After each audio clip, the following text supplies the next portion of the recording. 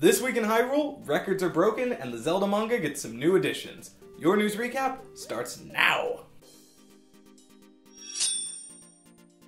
Hello everyone and welcome once again to This Week in Hyrule. Now let's kick things off with a world record. A speedrunner by the name of Marco has recently set a new world record for completing all of the dungeons in Ocarina of Time. Set on April 22nd, his time was an incredible 1 hour, 32 minutes, and 9 seconds. If you're like me, you cannot picture a Zelda game without its amazing soundtrack. Well, if you live in the UK and you want to hear some Zelda tunes live, you're in luck. The Symphony of the Goddesses is touring across the UK, and they recently added four new concert dates. If you're in the area, you should definitely check out their website, get yourself some tickets. Next up, we've got some exciting news for all you manga fans out there. Akira Himekawa's Legend of Zelda manga is being re-released by Viz Media in a series of five omnibus titles called Legend of Zelda Legendary Edition. The first volume, dropping this November, will include Ocarina of Time Parts 1 and 2 and will be around $17.99 US.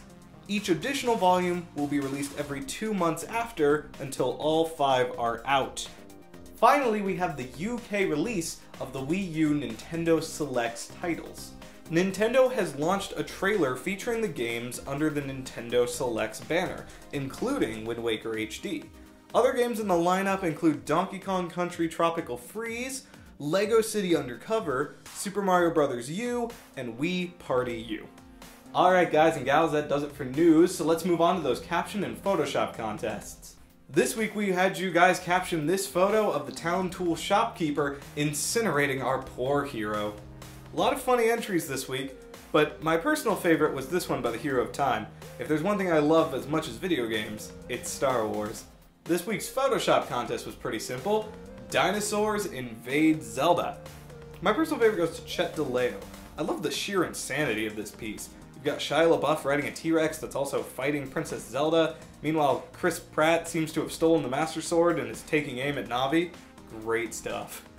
Well, that about does it for me. If you want any more information on the stories discussed in this video, you can check out the links in the description. Keep it locked to Zelda Informer for all your Zelda news. I'm Matt, and this was your week in Hyrule.